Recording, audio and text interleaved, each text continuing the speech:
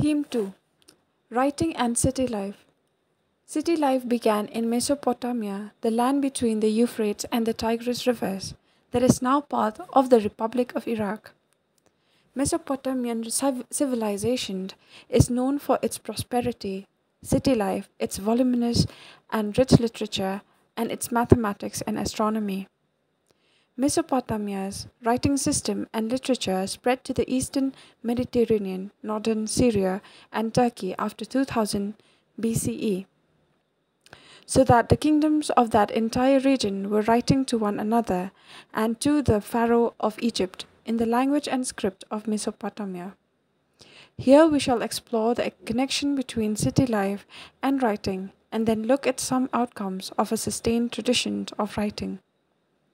In the beginning of recorded history, the land, mainly the urbanized south, was called Sumer and Akkad.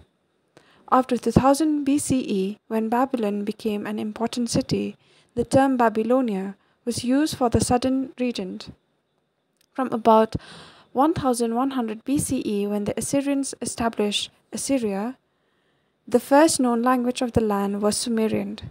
It was gradually replaced by Akkadian around 2400 BCE when Akkadian speakers arrived.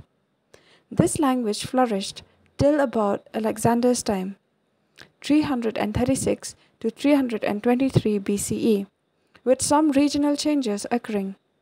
From 1400 BCE, Aramaic also trickled in. This language, similar to Hebrew, became widely spoken after 1000 BCE. It is still spoken in parts of Iraq. Archaeology in Mesopotamia became, began in the 1840s. At one of the two sites, including Uruk and Mari, which we discuss below, excavations continued for decades. No Indian site has ever seen such long term projects. Not only can we study hundreds of Mesopotamian buildings, statues, ornaments, graves, tools, and seals as sources, there are thousands of written documents. Mesopotamia was important to Europeans because of references to it in the Old Testament, the first part of the Bible. For instance, the book of Genesis of the Old Testament refers to Shumar, meaning Sumer, as a land of brick built cities. Travelers and scholars of Europe looked on Mesopotamia as a kind of ancestral land, and when archaeological work began in the area, there was an attempt to prove the literal truth of the Old Testament. From the mid 19th century, there was no stopping the enthusiasm for exploring the ancient past of Mesopotamia. In 1873, a British newspaper funded an expedition of the British Museum to search for a tablet narrating the story of the flood mentioned in the Bible. By the 1960s, it was understood that the stories of the Old Testament were not literally true, but may have been ways of expressing memories about important changes in the history. Gradually, archaeological techniques became far more sophisticated and refined. What is more, attention was directed to different questions, including reconstructing the lives of ordinary people, establishing the literal truth of biblical narratives receded into the background. Much of what we discuss subsequently in the chapter is based on these later studies. Mesopotamia and its geography. Iraq is a land of diverse environments. In the northeast lie green undulating plains gradually rising to tree covered mountain ranges with clear streams and wildflowers with enough rainfall to grow crops. Here, Agriculture began between 7000 and 6000 BCE.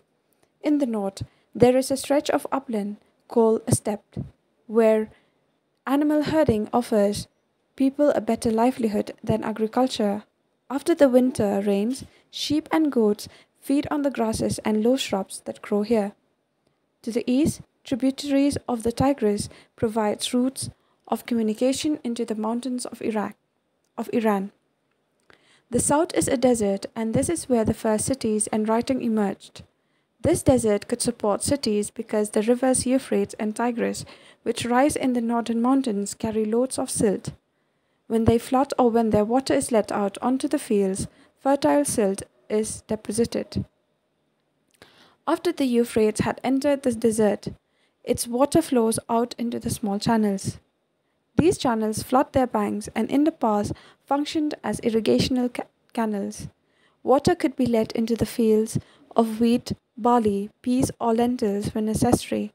Of all ancient systems, that of the Roman Empire included, it was agriculture of southern Mesopotamia that was the most productive, even though the region did not have sufficient rainfall to grow crops. Not only agriculture, Mesopotamian sheep and goats that graze on the steppe, the northeastern plains, and the mountain slopes produce meat, milk, wool in abundance.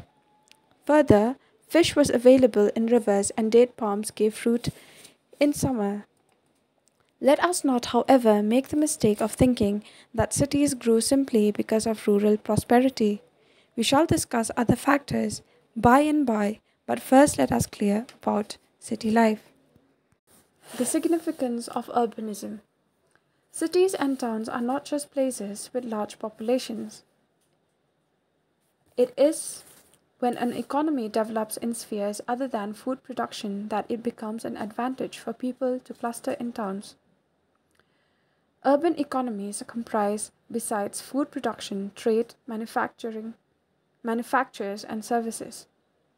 City people thus cease to be self sufficient and depend on the products or services of other people. There is continuous interaction among them. For instance, the carver of a stone seal requires bronze tools that he himself cannot make, and colored stones for the seals that he does not know where to get. His specialization is fine carving, not trading. The bronze tool maker does not himself go out to get the metals, copper, and tin. Besides, he needs regular supplies of charcoal for fuel. The division of labor is a mark of urban life. Further, there must be a social organization in place. Fuel, metal, various stones, wood, etc., come from many different places for city manufacturers. Thus, Organized trade and storage is needed. There are deliveries of grains and other food items from the village to the city, and food supplies need to be stored and distributed. Besides, many different activities have to be coordinated. There must be not only stones but also bronze stones, tools, and pots available for seal cutters. Obviously, in such a system, some people give commands that others obey and urban economies often require the keeping of written records. The Warka head. This woman's head was sculpted in white marble at Uruk before 3000 BCE. The eyes and eyebrows would probably would have taken lapis lazuli blue and shell white and bitumen black inlays respectively. There is a groove along the top of the head, perhaps for an ornament. This is a world famous piece of sculpture admired for the delicate modeling of the woman's mouth, chin, and cheeks, and it was modeled in a hard stone and would have been imported from a distance. Beginning with the procurement of stone, list all the specialists who would be involved in the production of such a piece of sculpture. Movement of goods into cities. However rich the food resources of Mesopotamia, its mineral resources were few. Most parts of the south lacked stones for tools, seals, and jewels. The wood of the Iraqi date palm and poplar was not good enough for carts, cart wheels, or boats, and there was no metal for tools, vessels, or ornaments.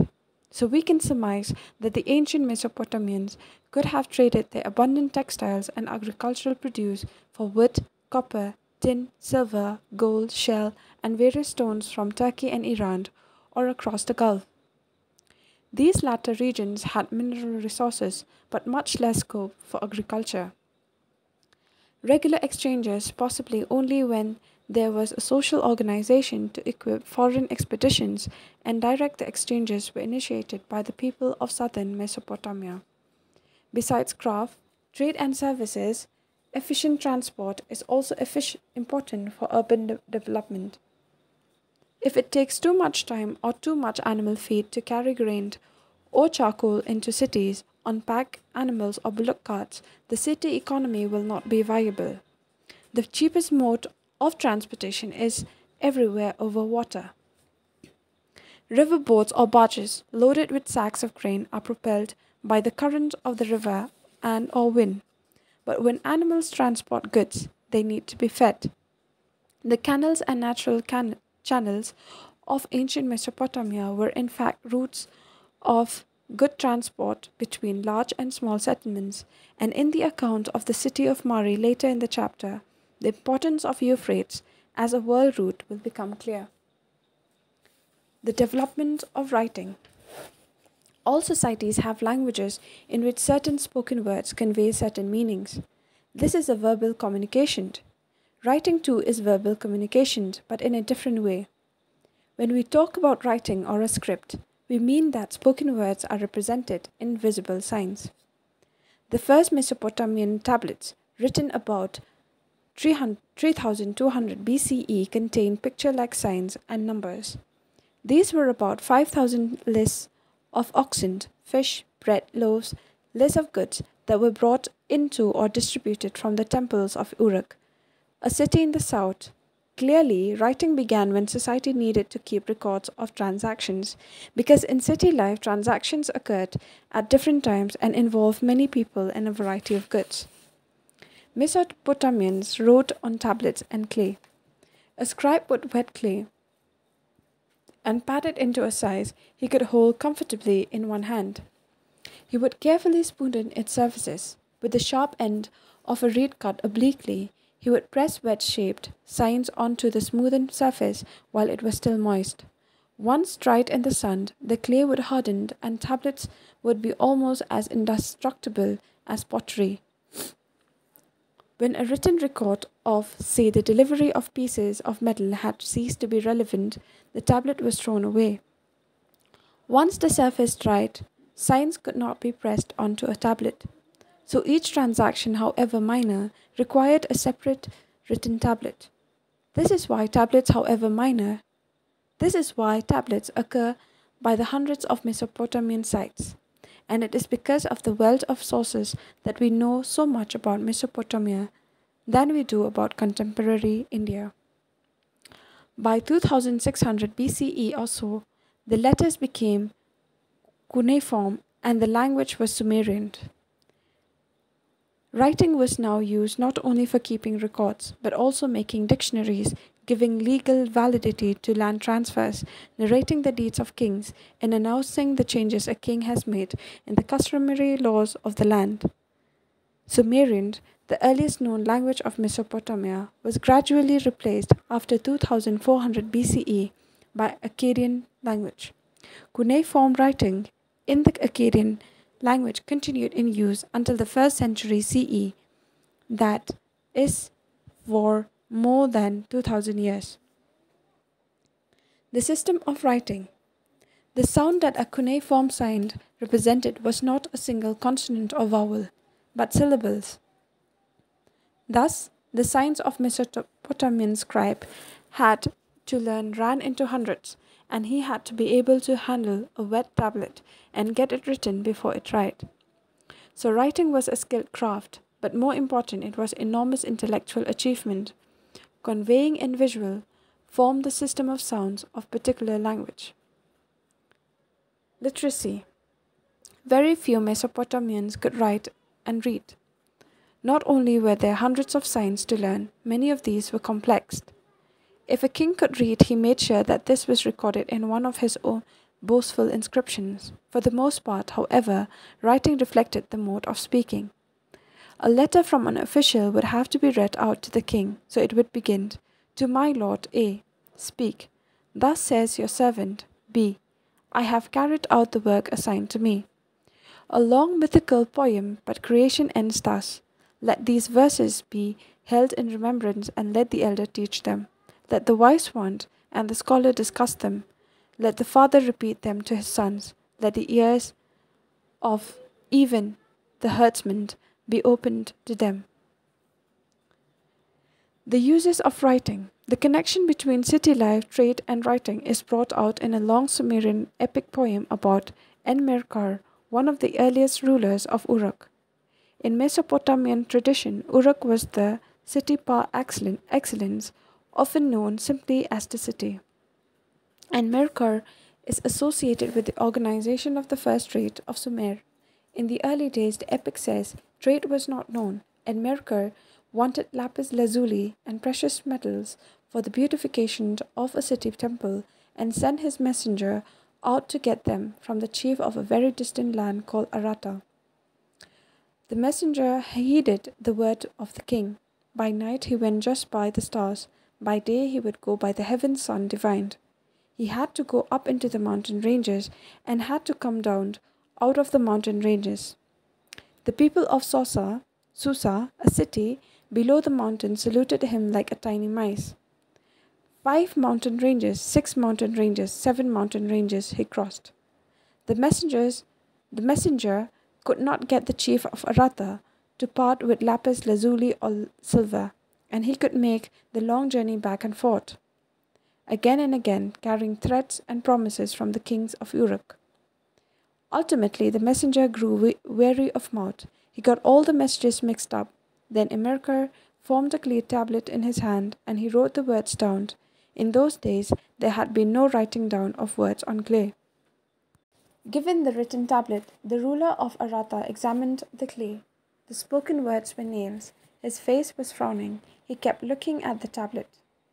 This should not be taken as literal truth, but it can be inferred that in Mesopotamian understanding it was kingship that organized trade and writing.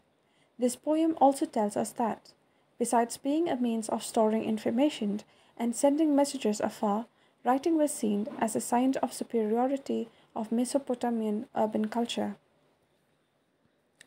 Urbanization in southern Mesopotamia Temples and Kings from 5000 BCE, settlements had begun to develop in southern Mesopotamia. The earliest cities emerged from some of these settlements. These were of various kinds those that gradually developed around temples, those that developed as centers of trade, and imperial cities. It is cities of the first two kinds that will be discussed here. Early settlers began to build and rebuild temples at selected spots in their villages the earliest known temple of various gods, of the moon god of Ur, or of Inanna, and the goddess of love and war. Constructed in brick, temples became larger over time with several rooms around open courtyards. Some of the early ones were possibly not unlike the ordinary house, for the temple was the house of a god. But temples always had their outer walls going in and out at regular intervals, which no ordinary building ever had which no ordinary building ever had. The god was the focus of worship. To him or her people brought grain, curd, and fish. The floors of some early temples had thick layers of fish bones. The god was also the theoretical owner of agricultural fields, the fisheries, and the herds of the local community. In time, the processing of produce was also done in the temple. Organizer of production at a level above the household, employer of merchants, and keeper of written records of distribution and allotments of grains, plough animals, breed, bread, beer, fish, etc. The temple gradually developed its activities and became the main urban institution. But there was also another factor in the scene. In spite of natural fertility, agriculture was subject to hazards. The natural outlet channels of the Euphrates would have too much water one year and the flood the, and flood the crops, and sometimes that would change the course altogether. As the archaeological record shows, villages were periodically located in Mesopotamian history. There were man made problems as well. Those who lived in the upstream stretches of a channel could divert so much water into their fields that villages downstream were left without water, or they could neglect to clean out the silt from their stretch of the channel blocking the flow of water further down. So the early Mesopotamian countryside saw repeated conflict over land and water. When there was continuous warfare in a region, those chiefs who had been successful in war could oblige their followers by distributing the loot and could take prisoners from the defeated groups to employ as their guards or servants so they could increase their influence and clout. Such war leaders, however, would be here today and gone tomorrow, until a time came when such leadership came to increase the well being of the community with the creation of new institutions or practices. In time, victorious chiefs began to offer precious booty to the gods and thus beautify the community's temples. They would send men out to fetch fine stones and metal for the benefit of the god and community, and organize the distribution of temple wealth in an efficient way by accounting for things that came in and went out. As the poem about Enmerkar shows, this gave the king high status and authority to command the community. We can imagine a mutually reinforcing cycle of development in which leaders encourage the settlement of villagers close to themselves to be able to rapidly get an army together. Besides, people would be safe living in close proximity to one another. At Uruk, one of the earliest temple towns, we find depictions of armed heroes and their victims, and careful archaeological surveys have shown that around 3000 BCE, when Uruk grew to the enormous extent of 250 hectares, twice as large as Mohenjo-daro would be in later centuries, dozens of small villages were deserted. There had been a major population shift. Significantly, Uruk also came to have a defensive wall at a very early date. The site was continuously occupied from about 4200 BCE to about 400 CE. And by about 200 2800 BCE, it had expanded to 400 hectares. War captives and local people were put to work for temple or directly for the ruler. This, rather than agricultural tax, was compulsory. Those who were put to work were paid rations. Hundreds of ration lists have been found which give against people's names the quantities of grain, cloth, or oil allotted to them. It has been estimated that one of the temples took 1,500 men working 10 hours a day, 5 years to build. With rulers commanding people to fetch stones or metal ores, to come and make bricks or lay the bricks for a temple, or else to go to a distant country to fetch suitable materials, there were also technical advances at Uruk around 3000 BCE. Bronze tools came into use for various crafts. Architects learned to construct brick columns, there being no suitable wood to bear the weight of the roof of large halls. Hundreds of people were put to work at making and baking clay cones that could be pushed into temple walls, painted in different colors, creating a colorful mosaic. In sculpture, there were superb achievements, not in easily available clay, but in imported stones. And then there was a technological landmark that we can say is appropriate to an urban economy the potter's wheel. In the long run, the wheel enables a potter's workshop to mass produce dozens of similar pots at the same time. The seal, an urban artifact. In India, early stone seals were stamped. In Mesopotamia, until the end of the first millennium BCE, cylindrical stone seals pierced down the center, were fitted with a stick and rolled over wet clay so that a continuous picture was created. They were carved by very skilled craftsmen and sometimes carry writing. The name of the owner, his god, his official position, etc.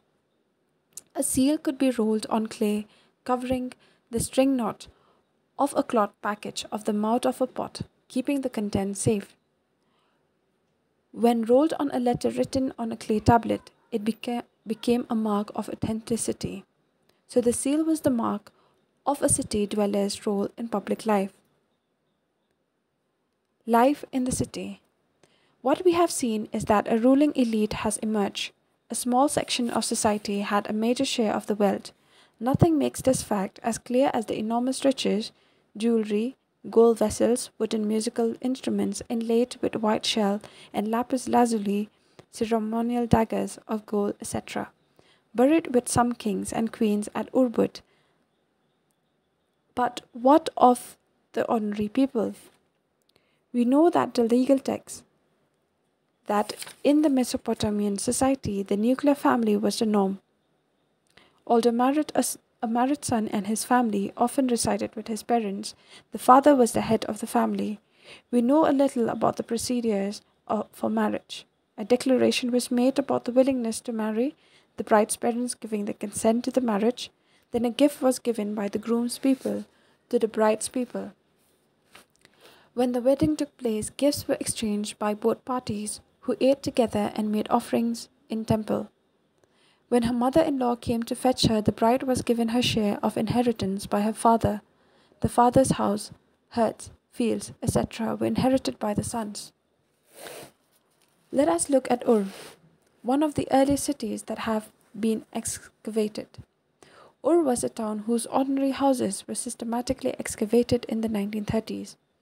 Narrow winding streets indicate that wheeled carts could not have reached many of the houses. Sacks of grain and firewood would have arrived on donkey back. Narrow winding streets and the irregular shapes of houses also indicate an absence of town planning. There were no street drains of the kind we find in contemporary Mohenjo-daro. Drains and clay pipes were instead found in the inner courtyards of the Ur houses, and it is thought that the house roofs sloped inwards and rainwater was channeled via the drain pipes into sumps in the inner courtyards. This would have been a way of preventing the unpaved streets from becoming excessively slushy after a downpour. Yet people seem to have swept all the household refuse into their streets to be trodden underfoot. This made street levels rise, and over time the thresholds of houses had also been raised so that no mud would flow inside after the rains. Light came into the rooms not from the windows but from doorways opening into the courtyards. This would have given families their privacy. There were superstitions about houses recorded in omen tablets at Ur. A raised threshold brought, brought wealth. A front door that did not open towards another house was lucky. But if the main wooden door of a house opened outwards instead of inwards, the wife would be a torment to her husband. There was a town cemetery at Ur in which graves of royalty and commoners have been found, but a few individuals were found buried under the floors of ordinary houses. A trading town in pastoral zone. After 2000 BCE, the royal capital of Mari flourished. You will have noticed that Mari stand not on the southern plain with its highly productive agriculture, but much further upstream on the Euphrates. Map 3 with its color coding shows that agriculture and animal rearing were carried out close to each other in this region. Some communities in the Kingdom of Mari had both farmers and pastoralists, but most of its territory was used for pasturing sheep and goats. Herders need to exchange young animals, cheese, leather, and meat in return for grain, metal tools, etc., and the manure of a pen flock is also of great use to a farmer. Yet at the same time, there may be conflict. A shepherd may take his flock to water across a sown field to the ruin of the crop. Herdsmen, being mobile, can raid agricultural villages and seize their stored goods. For their part, settled groups may deny pastoralists access to river and canal and canal water along a certain part, set of paths. Through Mesopotamian history, nomadic communities of the western desert filtered into the prosperous agricultural heartland. Shepherds would bring their flocks into the sown area in the summer. Such groups would come in as herders, harvest laborers, or hired soldiers, occasionally became prosperous and settled down. A few gained the power to establish their own rule. These included the Akkadians, Amorites, Assyrians, and Arameans. The kings of Mari were Amorites whose dress differed from that of the original inhabitants and who respected not only the gods of Mesopotamia but also raised a temple at Mari for Dagon, god of the steppe. Mesopotamian society and culture were thus open to different people and cultures, and the vitality of the civilizations was perhaps due to the intermixture. The kings of Mari, however, had to be vigilant. Herders of various tribes were allowed to move into the kingdom, but they were watched. The camps of herders were mentioned frequently in letters between kings and officials. In one letter, an officer writes to the kings that he had been seeing frequent fire signals at night, sent by one camp to another, and he suspected that a raid or an attack is being planned. Located on the Euphrates in a prime position for trade in wood, copper, tin, oil, wine, and various other goods that were carried in boats along the Euphrates between the south and the mineral rich uplands of Turkey, Syria, and Lebanon. Mari is a good example of an urban center prospering on trade. Boats carrying grinding stones, wood, and wine and oil jars would stop at Mari on their way to the southern cities. Officers of this town would go on board, inspect the cargo, and levy a charge of about one tenth of the value of the goods before allowing the boats to continue downstream. Barley came in special grain boats. Most important tablets refer to the copper from Alasia, island of Cyprus. Known for its copper and tin was also an item of trade. As bronze was the main industrial material for tools and weapons, this trade was of great importance. Thus, although the kingdom of Mari was not militarily strong, it was exceptionally prosperous. Excavating Mesopotamian towns.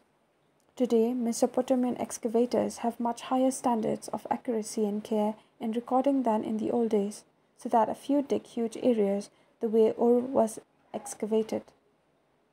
Moreover, few archaeologists have the funds to employ large teams of excavators. Thus, the mode of obtaining data has changed. Take the small town at Abu Salabikh, about 10 hectares in area in 2500 BCE, with a population less than 10,000. The outlines of walls were at first traced by scraping surfaces. This involves scraping off the top few millimeters of the mound with the sharp and white end of a shovel or other tools. While the soil underneath was slightly moist, the archaeologists could make out different colors, textures, and lines of brick walls or pits of other features. A few houses that were discovered were excavated. The archaeologists also sieved through tons of earth to recover plant and animal remains, and in the process identified many species of plants and animals and found large quantities of charred fish bones that had been swept out onto the streets. Plant seeds and fiber remained after dung cakes had been burned as fuel, and thus kitchens were identified. Living rooms were those with fewer traces because they found the teeth of very young pigs on the street. Archaeologists concluded that pigs must have roamed freely here as in any other Mesopotamian town. In fact, one house burial contained some pig bones. The dead body must have been given some pork for his nourishment in the afterlife. The archaeologists also made microscopic studies of room floors to decide which rooms in a house were roofed and which were open to the sky. Cities in Mesopotamian culture. Mesopotamians valued city life in which people of many communities and cultures live side by side. After cities were destroyed in a war, they recalled them in poetry. The most poignant re- reminder to us of the pride Mesopotamians took in their cities comes at the end of Gilgamesh epic, which was written on 12 tablets. Gilgamesh is said to have ruled the city of Uruk sometime after Enmerkar. A great hero who subdued people far and wide, he got a shock when his heroic friend died. He then set out to find the secret of immortality, crossing the waters that surround the world. After a heroic attempt, Gilgamesh fa- failed and returned to Uruk. There he consoled himself by walking along the city wall back and forth. He admired the foundations made of fired bricks that he put into place. It is on the city wall of Uruk that the long tale of heroism and endeavor fizzles out. Gilgamesh does not say that even though he will die, his sons will outlive him, as a tribal hero would have done. He takes consolation in the city that his people had built. The legacy of writing. While moving narratives can be transmitted orally, orally, science requires written texts that generations of scholars can read and build upon. Perhaps the greatest legacy of Mesopotamia to the world is its scholarly tradition of time, reckoning, and mathematics. Dating around 1800 BCE are tablets with the multiplication and division tables, square, square roots tables, and tables of compound interest.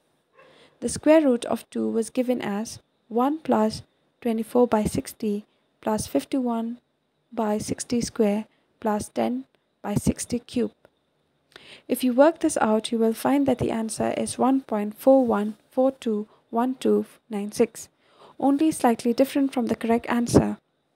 Students had to solve problems such as the following A field of area such and such is covered one finger deep in water. Find the volume of water. The division of the year into 12 months according to the revolution of the moon around the earth, the division of the month into 4 weeks, a day into 24 hours, and the hour into 60 minutes. All that we take granted in, for granted in our daily lives has come to us from the Mesopotamians. These time divisions were adopted by the successors of Alexander and there transmitted to the Roman world and then to the world of Islam and then to medieval Europe. Whenever solar and lunar eclipses were observed, the occurrences were noted according to year, month, and day. So, too, there were records about the observed positions of stars and constellations in the night sky. None of these momentous Mesopotamian achievements would have been possible without writing and the urban institution of schools, where students read and copied earlier written tablets, and where some boys were trained to become not record keepers for administration but intellectuals who could build on the work of their predecessors. We would be mistaken if we think that the preoccupation with the urban world of Mesopotamia is a modern phenomenon. Let us look finally at two early attempts to locate and preserve the texts and traditions of the past. An early li library. In the Iron Age, the Assyrians of the north created an empire at its height between 720 and 610 BCE that stretched as far west as Egypt. The state economy was now a predatory one extracting labor and tribute in the form of food, animals, metals, and craft items from a vast subject population. The great Assyrian kings who had been immigrants acknowledged the southern region, Babylonia, as the center of high culture and the last of them, Assurbanipal, collected a library at his capital, Nineveh in the north. He made great efforts to gather tablets on history, epics, omen, literature, astrology, hymns, and poems. He sent his scribes south to find old tablets, because scribes in the south were trained to read and write in schools where they all had to copy tablets by the dozen.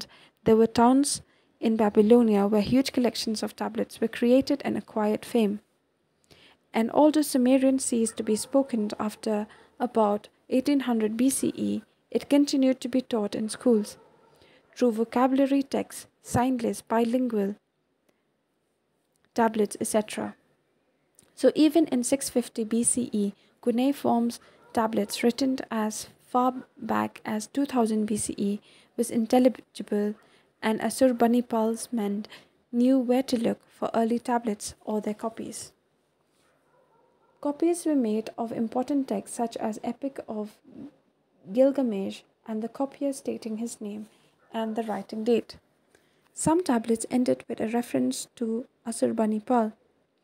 I, Assurbanipal, king of the universe, king of Assyria, on whom the gods bestowed vast intelligence who could acquire the recondite details of scholarly erudition, I wrote down on tablets the wisdom of gods.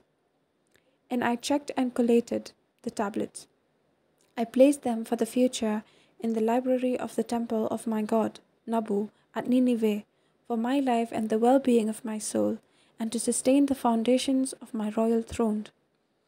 More important, there was cataloguing. A basket of tablets would have been would have a clear label that read n number of tablets about exorcism written by X. Assurbanipal's library had a total of some 1000 texts amounting to about 30,000 tablets grouped according to subject. And an early archaeologist, a man of southern marshes, Nabopolassar, released Babylonia from Assyrian domination in 625 BCE. His successors increased their territory and organized building projects at Babylon. From that time, even after the Achaemenids of Iran conquered Babylon in 539 BCE and until 331 BCE, when Alexander conquered Babylon, Babylon was the premier city of the world more than 850 hectares, with a triple wall, great palaces, and temples. A ziggurat or stepped tower and a processional way to the ritual center, its trading houses and widespread dealings, and its mathematicians and astronomers made some new discoveries. Nabonidus was the last ruler of the independent Babylon. He writes that the god of Ur came to him in a dream and ordered him to appoint a priestess to take charge of the cult in that ancient town in the deep south. He writes because for a very long time the office of high priestess had been forgotten, her characteristic features now nowhere indicated. I bethought myself day after day. Then he says he found the stele of a very early king, whom we today date to about 1150 BCE and saw that saw on that stele the carved images of the priestess. He observed the clothing and the jewelry that was depicted. This is how he was able to dress his daughter for her consecration as priestess. On another occasion, Nabonidus meant brought to him a broken statue inscribed with the name of Sargon, king of Akkad. We know today that the latter ruled around 2370 BCE. Nabonidus and indeed many intellectuals had heard of this great king of remote times. Nabonidus felt he had to repair the statue. Because of my reverence for the gods and respect of kingship, he writes, I summoned skilled craftsmen and replaced the head.